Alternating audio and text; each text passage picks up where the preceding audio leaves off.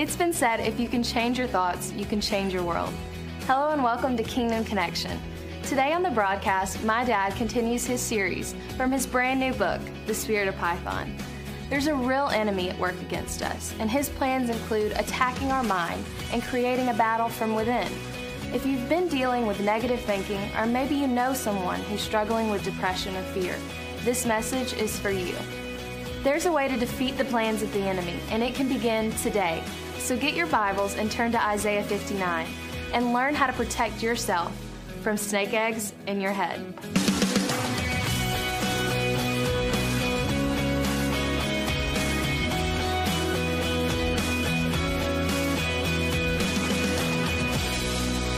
If you have your Bibles, look with me in verse 4. No one calls for justice, nor does any plead for truth. They trust in empty words and speak lies. They conceive evil. Listen to these words. They conceive evil and bring forth iniquity. They hatch vipers' eggs and weave the spider's web. He who eats of their eggs die, and, and from that which is crushed, a viper breaks out. They hatch vipers' eggs. They hatch snake eggs. They hatch snake eggs. Here, the writer is comparing the conception of sin with being like a snake egg that begins with a thought. They hatch it. It has to, it has to be planted in the mind. Sin begins in the mind. It does not begin with an act of the body. It does not begin with the act of the soul. It begins in the mind. I say this to you, and I want you to remember what I'm about to say. The greatest battle for your soul is not in the heavenlies between angels and demons. The greatest battle for your soul is between your ears. Because the enemy works like a serpent. It's interesting that pythons, particularly, and I, I, I, I um, took the spirit of Python from Acts 16. It's where the spirit of divination, which is in the Greek, means Python. It's the only time that we're given the name of an evil spirit in the book of Acts. It's interesting that Python snakes lay more eggs than any other serpent. As a matter of fact, they can lay over a hundred eggs at one time. And what I want you to see about this as I talk to you today about snake eggs in your head is how the enemy loves to plant thoughts like eggs, like snake eggs in our head, just as Isaiah 59 said. And if you don't deal with them, if you don't crush them, if you don't dig them out, those eggs will hatch. And sin will become more than a thought, it will become an action. Thoughts become actions. Thoughts become act. What you think on continually, you will act on. Your life will begin to move in the direction of the continual way you begin to think. James 1 in verse 15 said, Every sin begins with a thought. Listen to this verse. For when lust has conceived, where? In the mind. It brings forth sin, where? Through the deeds of the body. And then sin, when it is full grown, brings forth death into the spirit.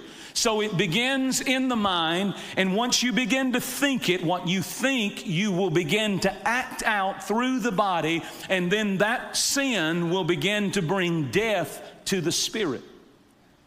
The greatest battle for your soul is between your ears.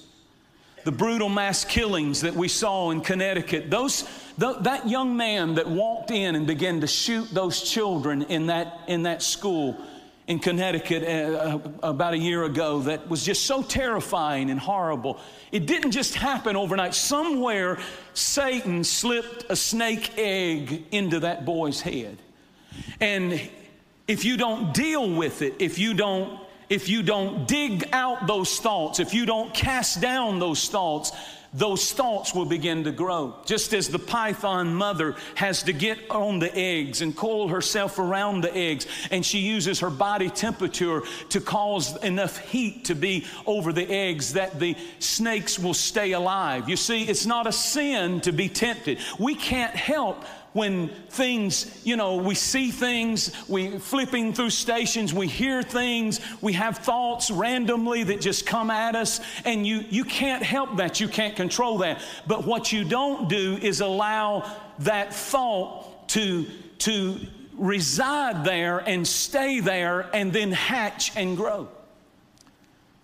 The old timers used to say, You can't help it if a, if a bird flies over your head, but you don't have to let him make a nest in your hair. And that's how it is with thoughts. You really can't help random thoughts that go by, but what you can do is control how long you dwell on them and how long you allow them to reside in your mind. Matthew chapter 5, Jesus said, Whoever looks at a woman to lust after her in his heart has already committed adultery. He said, when you look and you and you look with a look of lust, so you have to control. You can't help it if you see somebody riding, running by or whatever, and you see them and you have a thought that hits you, but you are not to allow your mind. That's a snake egg that the enemy wants to entice and let it be full grown into a sin. But all you have to do if you want victory over it is decide not to allow the enemy to keep you controlled in your thinking. It starts with a thought. Whatever you look at, whatever you listen to, whatever you dwell on begins to incubate in your mind. When you understand this, you understand why Job said in Job 31 I made a covenant with my eyes not to look lustfully upon a girl. I made a covenant with my eyes. If ever there was a generation that needed that scripture, it is this generation. We need to remind ourselves, gentlemen, every day of our lives, I need to make a covenant with my eyes today. That I would have bouncing eyes. You can't help it if you see it, but bounce, boom.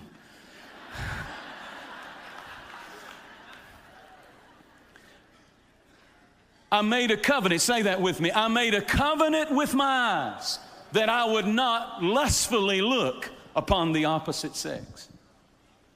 You can't help it sometimes when somebody, uh, this or that, a Victoria's Secret commercial comes on. Just, just go get you a sandwich. Go get you a cookie. You have my permission. But don't flip it.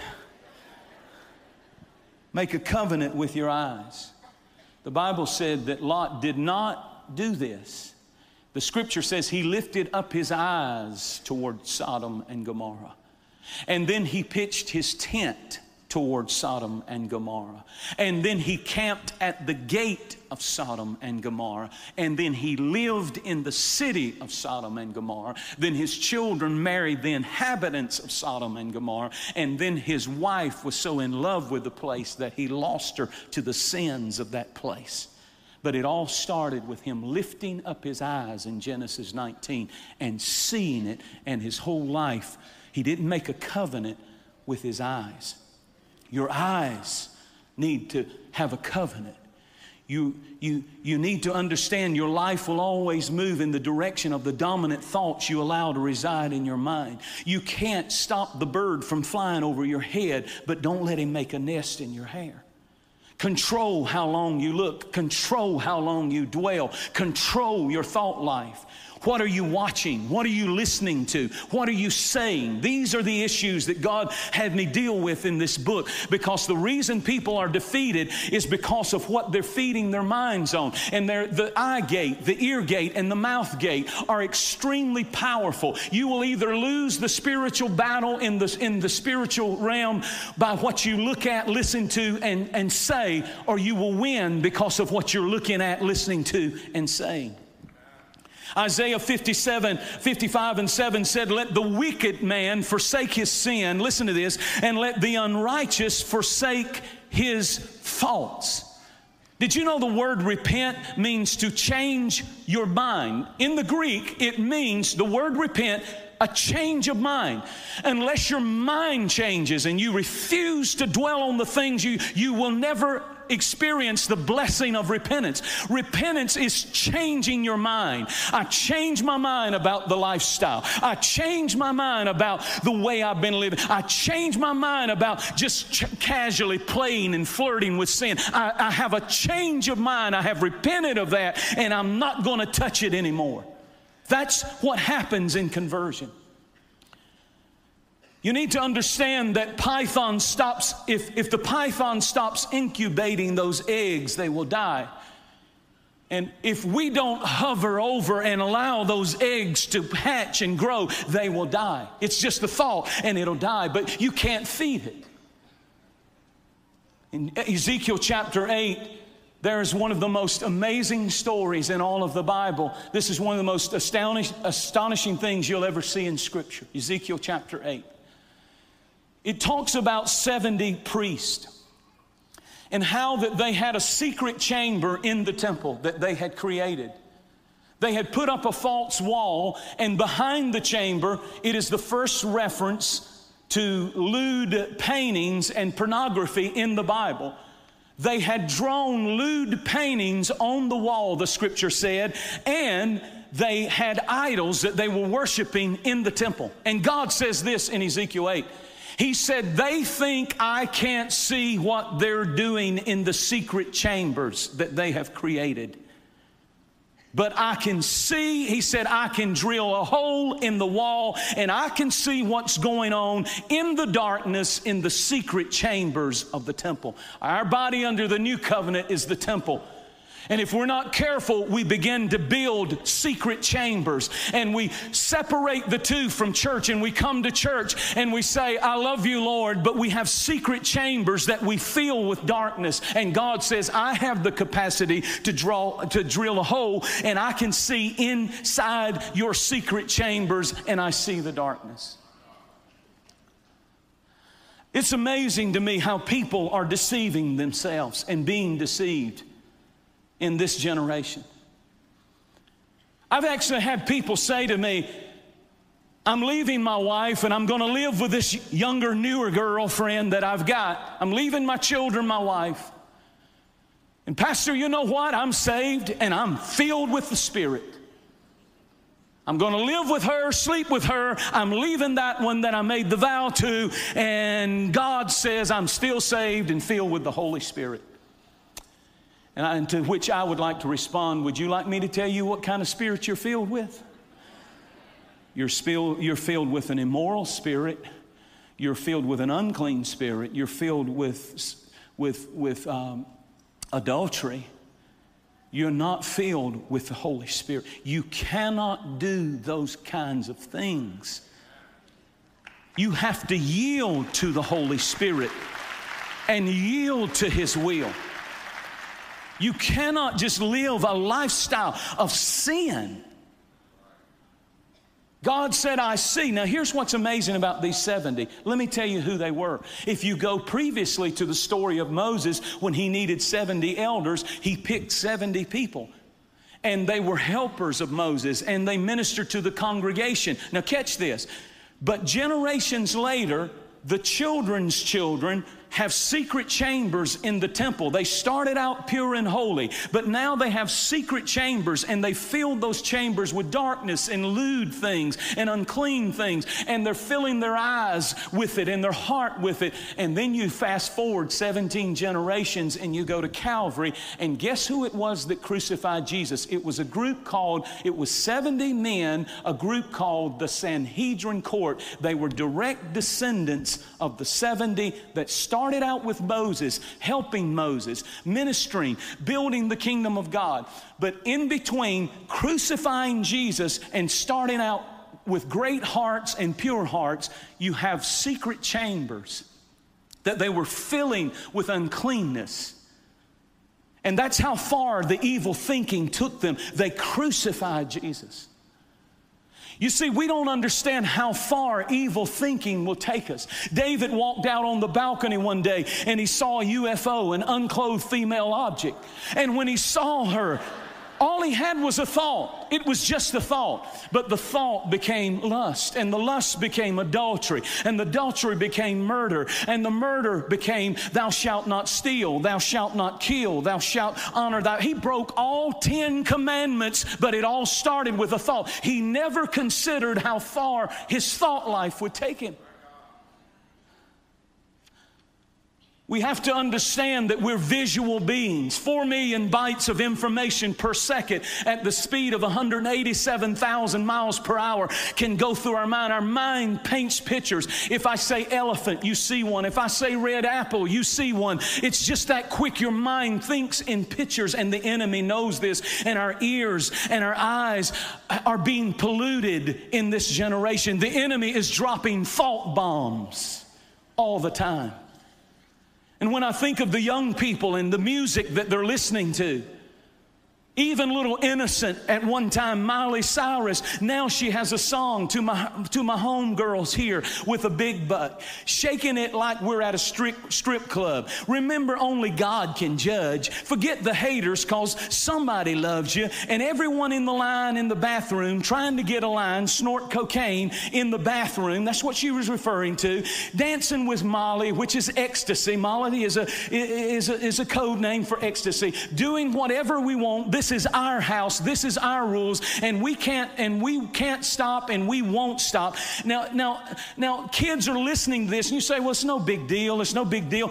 If you listen to it one time, but that's just one, and then you flip over to Kanye.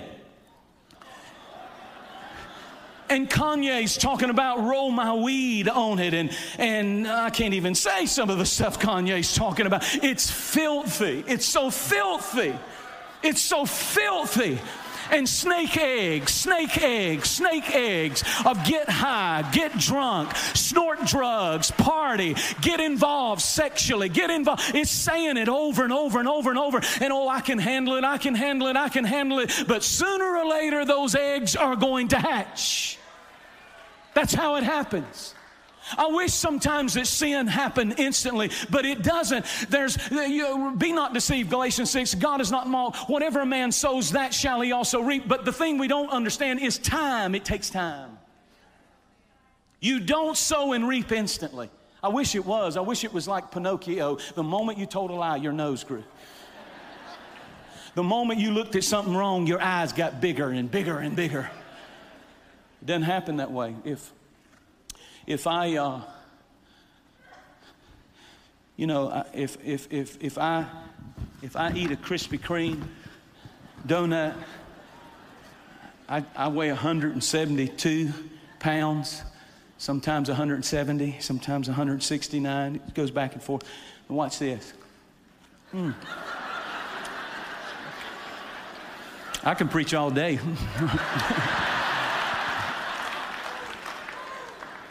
This is awesome. And I can eat this and eat this, and then I could eat another one because I got 12 in here. And I could eat another one. I could eat the whole thing right now. You know what? I just ate that donut. It's full of calories.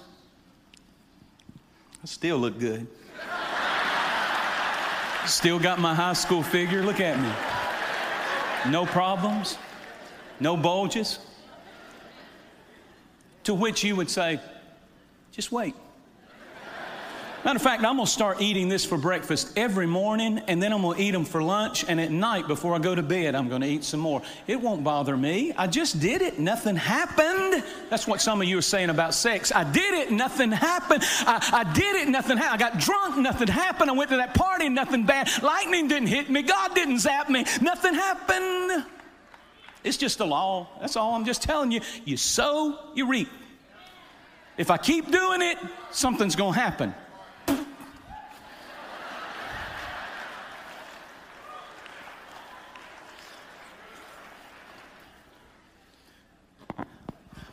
It, anybody got a lighter? I know you do.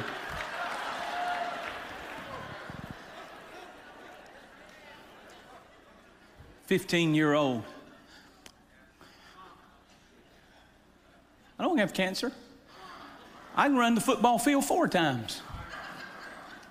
It's not going to bother me. It's not going, look, nothing's happening. I'm smoking. I've been smoking for a year. I've been smoking for two years. I've been smoking. It's going to take some time. But if you keep doing it, Marlboro will be my burial. Come on, I work hard on these jokes, folks. You gotta, you gotta give me a little.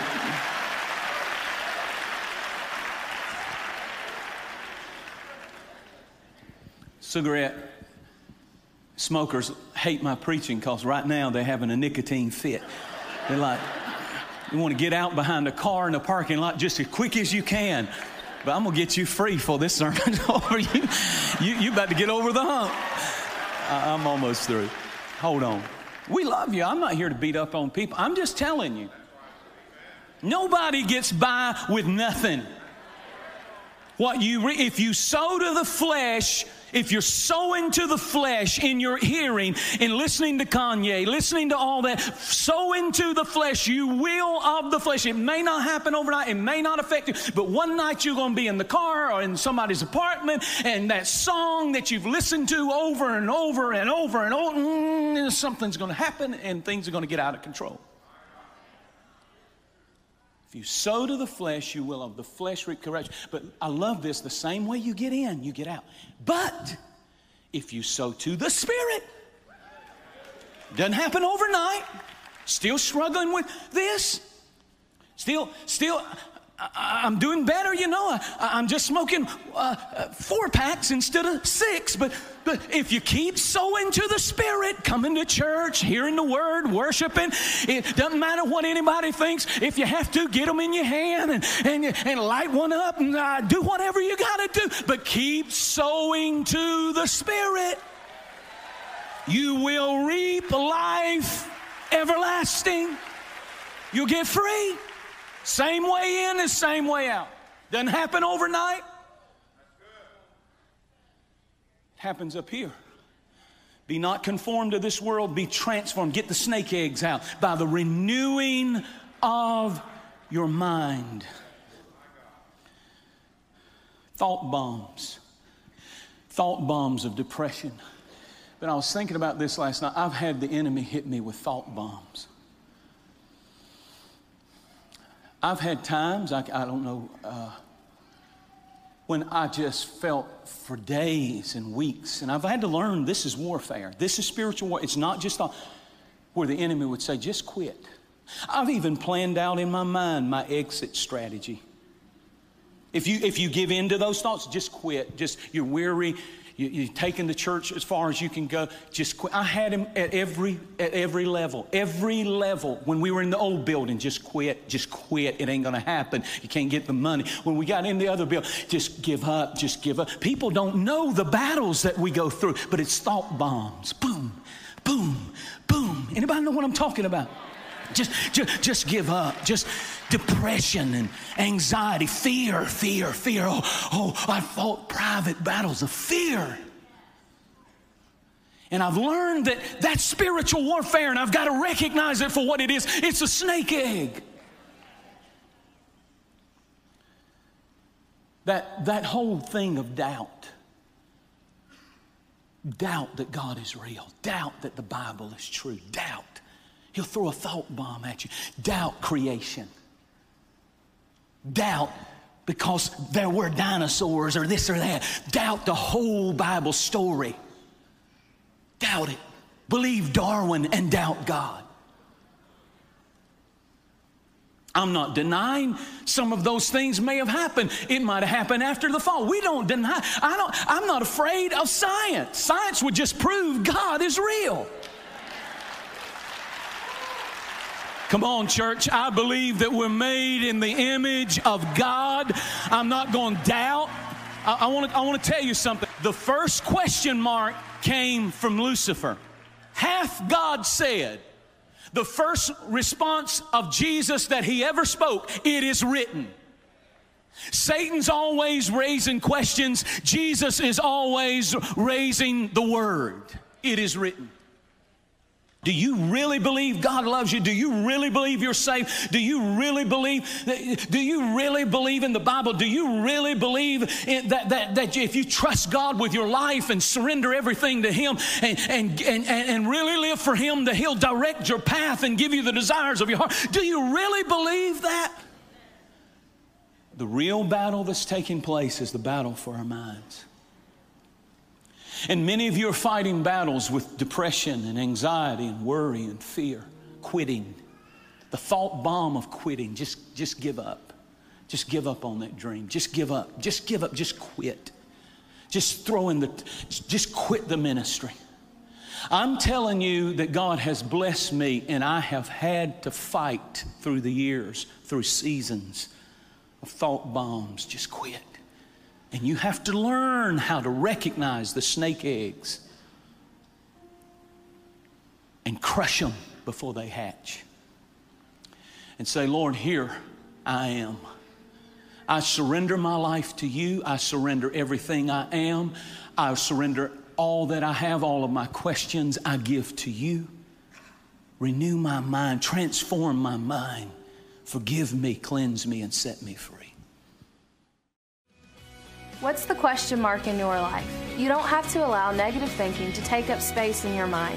You can win the battle of your thoughts and break the hold that fear, anxiety, and worry have over you.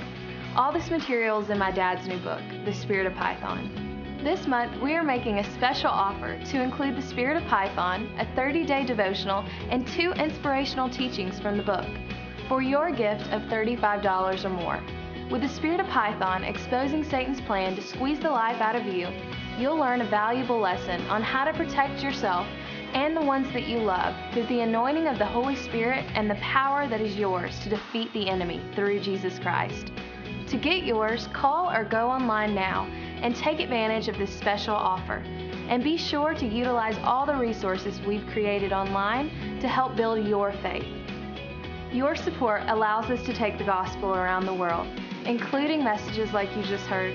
So thank you for watching, and we'll see you next time, right here on Kingdom Connection. We are daughters of the King, and our dreams are more than wishful thinking. They are inspired and a gift from God. Our dreams are not meant to be buried. Join Cherise Franklin and the ladies of Divine for Royal Dreams. This amazing three day women's conference will strengthen your faith, encourage you to dream again, and discover all that God has placed in you. You are a daughter of the King, and your future is majestic. Royal Dreams tickets and info are available online now. Register today.